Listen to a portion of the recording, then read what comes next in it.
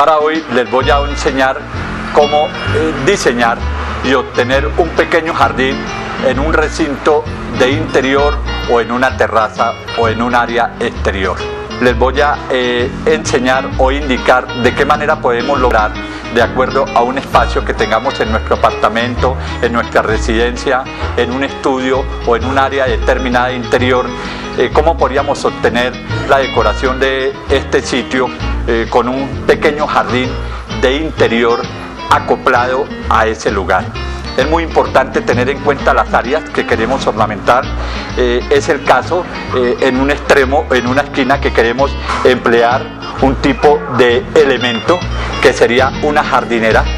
En este caso, en recipientes importados en plástico que es un uso muy común en el momento, eh, de tal manera que usted puede obtener no solo eh, un excelente desarrollo en sus plantas por los espacios tan amplios de que en esta jardinera disponemos, sino que de igual forma podemos conllevar a que con la ayuda de este plato que viene formando parte de esta jardinera importada, usted puede dejar en un momento determinado una determinada solución nutritiva que le va a ayudar a hidratar las plantas y a nutrirlas como son.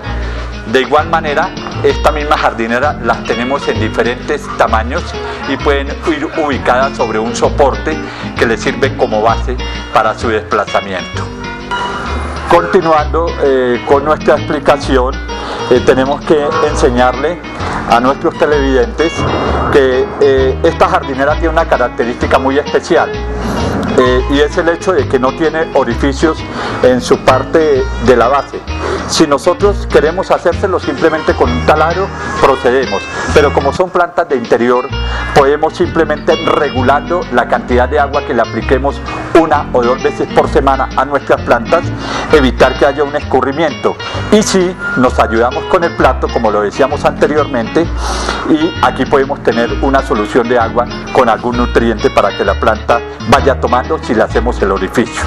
Eso es una gran ventaja para sitios que son de extremo cuidado, donde puede haber tapetes o un piso muy fino que no queremos deteriorar con los residuos que desaloje la jardinera. Procedemos eh, a colocar en primera instancia una capa muy suave de un drenaje para la planta, que se trata de unos eh, trozos de cáscara de pino. En igual forma lo podemos hacer con escoria de carbón o también lo podemos hacer con eh, gravilla de río simplemente. Eh, no es conveniente utilizar cisco de arroz puesto que este con el tiempo se va fermentando y va deteriorando. Una vez hemos colocado en la parte del fondo, como lo vemos acá, los residuos de cáscara de pino, entonces procedemos a acomodarlos adecuadamente y colocar una pequeña capa de tierra o, mezcla eh, debidamente preparada. Esta tierra normalmente ha sido una tierra zarandeada eh, para evitar que haya impurezas en ella. Es una tierra que lleva una porción de arena de río y de eh, caldo lomítica para regular el pH.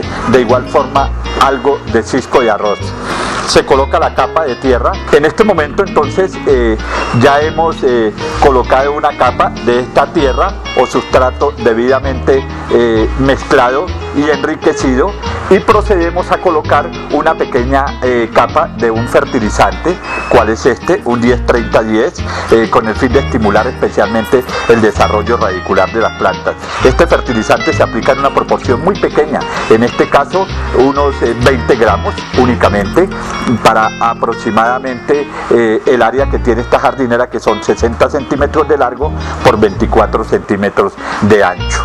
Eh, una vez hecho esto, procedemos a colocar otra capa de material orgánico, aquí con la ayuda de nuestro asesor de jardinería, don Manuel, y posteriormente, eh, una vez hayamos, eh, digamos, cubierto el, abono granulado que va a ser de muy lenta liberación, que no debe quedar en contacto con el sistema radicular de la, de la planta que queremos proceder a colocar en el recipiente, tomamos lo que tiene que ver con el material orgánico. Es muy importante lo que nosotros podamos hacer de darle a nuestras plantas mucho material orgánico a nivel de su sistema radicular.